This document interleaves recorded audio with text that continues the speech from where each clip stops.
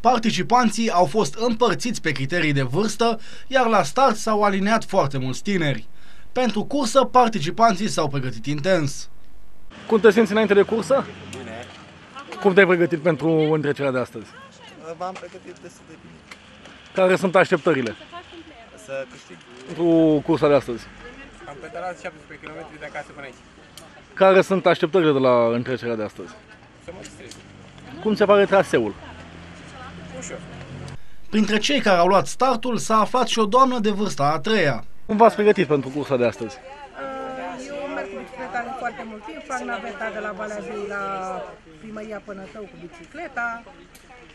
Ce părere aveți de inițiativa organizatorilor de a face acest de- gen de competiție la Inițiativă Pântău? foarte bună, antrenează copii, tineri și vârstnici, ca mine.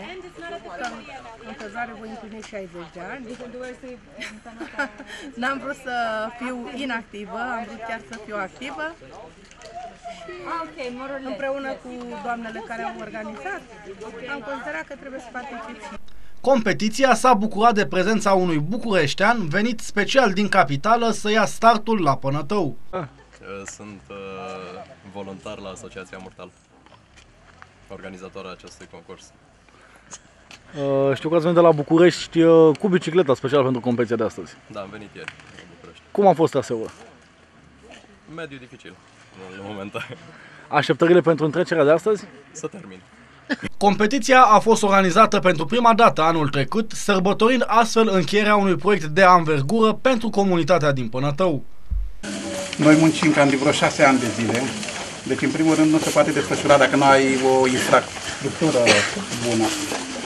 Deci, acest drum uh, pe care s-a desfășurat concursul a început în anul 2010 și s-a terminat în anul 2013-14. Este vorba de un traseu cu o lungime de 7 km, satul Sibiciu de jos și zona Lutega, care sperăm pentru anul viitor să desfășurăm acel concurs în zona respectivă. Uh, Bineînțeles că o să ne pregătim mult mai bine, o să popularizăm acest concurs în tot județul, de ce nu și în toată țara, cu sponsori naționali, deci gândiți-vă la un concurs pe care îl vedeți la televizor, cu populație foarte multă.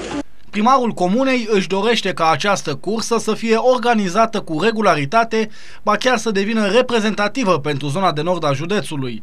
Totodată, primul om al comunei va continua să organizeze în perioada imediat următoare întreceri sportive pentru tineri.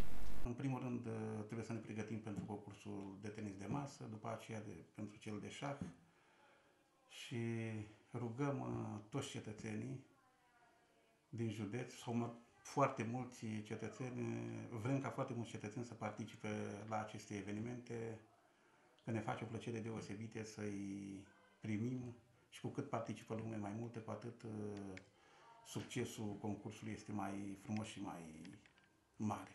Câștigătorii cursei de ciclism au fost premiați în fața primăriei din Pănătău, în fața întregii comunități. Pe podium au urcat de la piticii satului până la persoane de vârsta a treia care au trecut linia de finish.